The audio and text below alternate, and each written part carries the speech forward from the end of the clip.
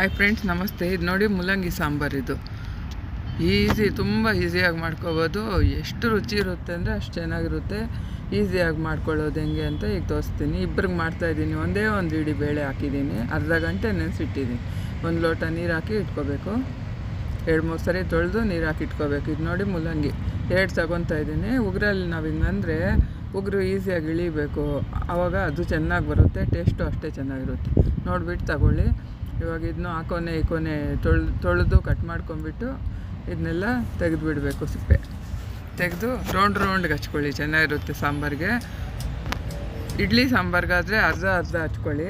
ಇದಕ್ಕೆ ರೌಂಡ್ಗೆ ಹಚ್ಕೊಂಡ್ರೇ ಚೆನ್ನಾಗಿರುತ್ತೆ ಈ ಸಾಂಬಾರಿಗೆ. ಇನ್ನೇನು ಹಾಕೋದು ಬೇಡ, ಮೂಲಂಗಿ, ಬೇಳೆ, ಟೊಮೊಟೊ ಅಷ್ಟೇ. ನೋಡಿ, ಮೂಲಂಗಿನ ಹಂಗೆ ಬೇಳೆ ಒಳಗಾದರೂ ಹಾಕ್ಬೋದು, ಸ್ವಲ್ಪ ಮೆತ್ತಗಾಗುತ್ತೆ. ಅದಕ್ಕೋಸ್ಕರ ಈ ಥರ ಒಂದು ಬೌಲಲ್ಲಿ ಇಟ್ಬಿಟ್ಟು ನೀರು ಹಾಕ್ದಿರಾ ಇಟ್ಬಿಟ್ರೆ ಅದು ಅವಳು ಹಂಗೆ ಗಟ್ಟಿ ಇರುತ್ತೆ. ಈ ಬೋ, ಇದಕ್ಕೆ ಒಂದು ಟೊಮೊಟೊ ಕಟ್ ಮಾಡ್ಕೊಳ್ಳೋಣ. ಎಣ್ಣೆ ಹಾಕಿ, ಸಾಸಿವೆ ಸಾಸಿವೆ ಚಿಟ್ಪಟ ಅಂದಮೇಲೆ ನೋಡಿ ಹಿಂಗೂ ಸ್ವಲ್ಪ ಹಾಕ್ಕೋಬೇಕು. ಕರಿಬೇವು ಹಾಕ್ಕೋಬೇಕು.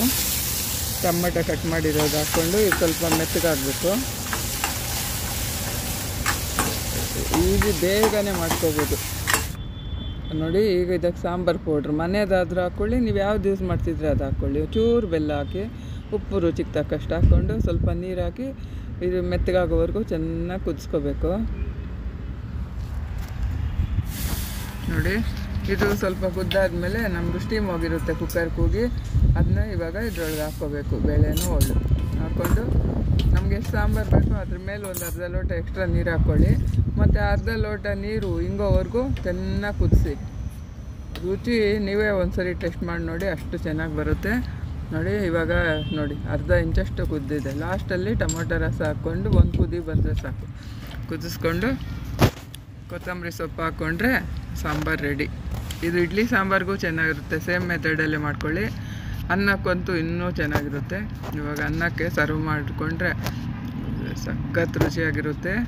ನಿಮಗೆ ಬಿಸಿ ಬಿಸಿ ಅನ್ನಕ್ಕೆ ಮೂಲಂಗಿ ಸಾಂಬಾರು ಹಾಕ್ಕೊಂಡು, ಮಜ್ಜಿಗೆ ಮೆಣಸಿನ್ಕಾಯಿ ನಂಚ್ಕೊಂಡು ಸಂಡಿಗೆ ಏನಾದ್ರು ಇದ್ದರೆ ಸ್ವಲ್ಪ ತಗೊಂಡು ಇದ್ದರೆ ಅಷ್ಟು ಚೆನ್ನಾಗಿರುತ್ತೆ. ಈ ಥರ ಟ್ರೈ ಮಾಡಿ ನೋಡಿ ಒಂದು ಸತಿ ಈ ಸ್ಪೂನಲ್ಲಿ ಎಷ್ಟು ತಿಂದರೂ ಸಮಾಧಾನ ಆಗಲ್ಲ ಅಲ್ವಾ? ಕೈಯಲ್ಲಿ ತಿಂದ್ರೇ ಚೆನ್ನಾಗಿರೋದು. ಆ ಸ್ಪೂನ್ ಪಕ್ಕಕ್ಕೆ ಇಟ್ಬಿಟ್ಟು ಕೈಯಲ್ಲಿ ತಿಂದ್ಬಿಡೋಣ ನೋಡಿ ಈಗ.